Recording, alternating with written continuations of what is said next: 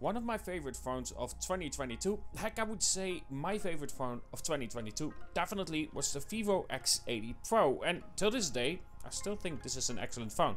But I kind of want to revisit it and see how it holds up today and maybe, maybe, this is for a normal user even a better phone than the Vivo X90 Pro. Let me explain in this update video on the Vivo X80 Pro.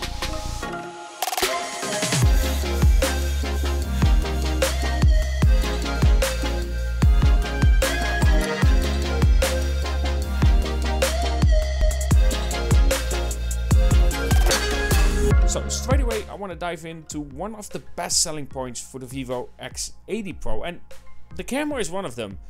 But there's another one, especially for day-to-day -day life. It's the fingerprint scanner.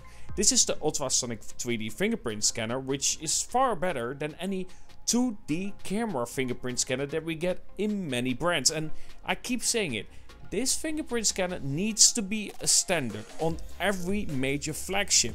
Because simply put, this fingerprint scanner puts the 2D fingerprint scanner to shame and not to mention that it is so much more efficient and better and accurate. Not to mention that it is a larger area that you're working with.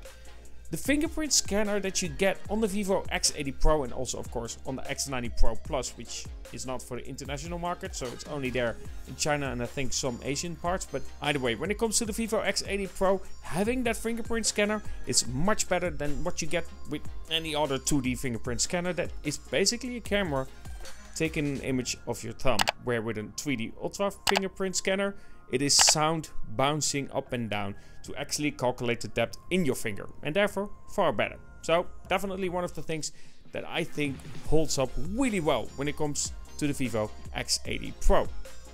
Now, of course, software is one of the things that also matters, and I don't think Vivo is necessarily the best here. Not guaranteeing any updates or a certain amount of years of updates definitely isn't something that you'd like to see when it comes to a brand, especially when it comes to flagships.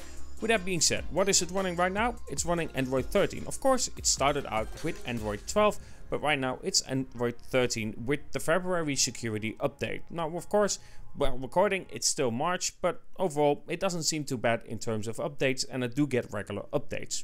How long I will receive updates, I honestly don't know, and that's something we'll have to wait and see in the future what the phone will do in terms of that.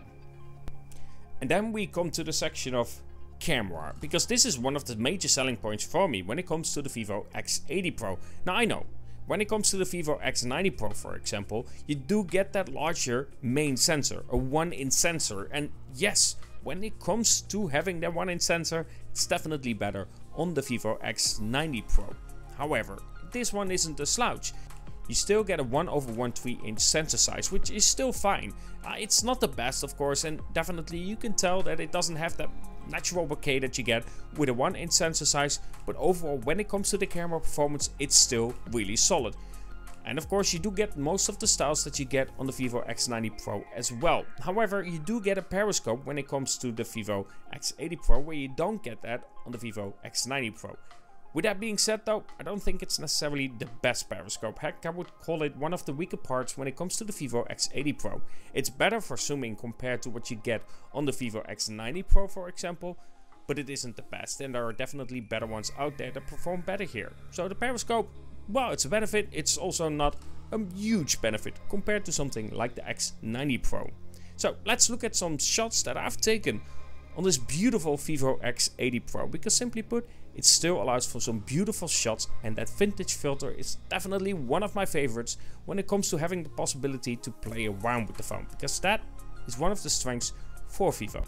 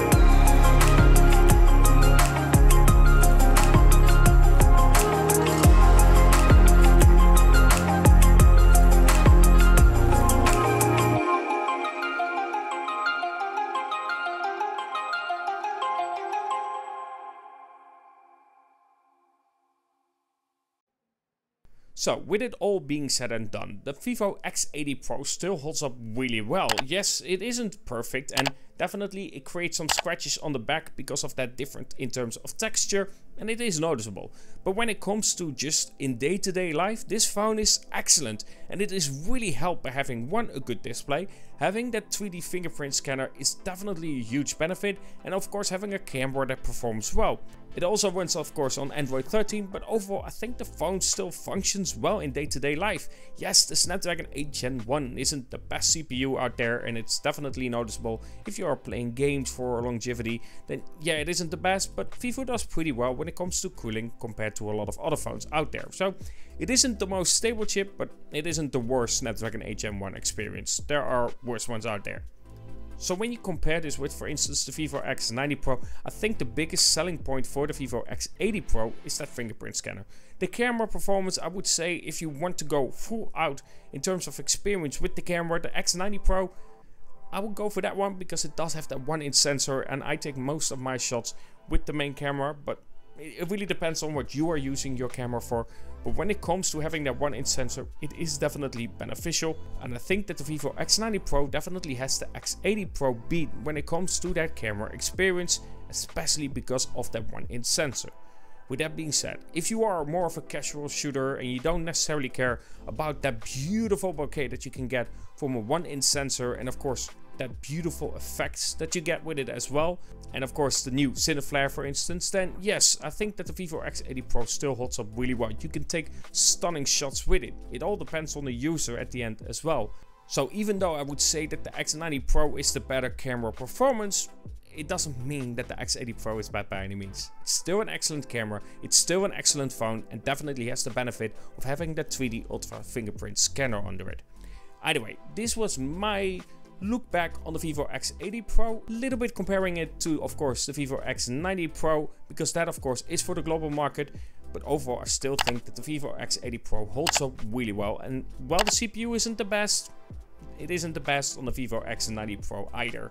It needs a little bit of work, especially when it comes to heating up, because that X90 Pro can heat up quite a bit.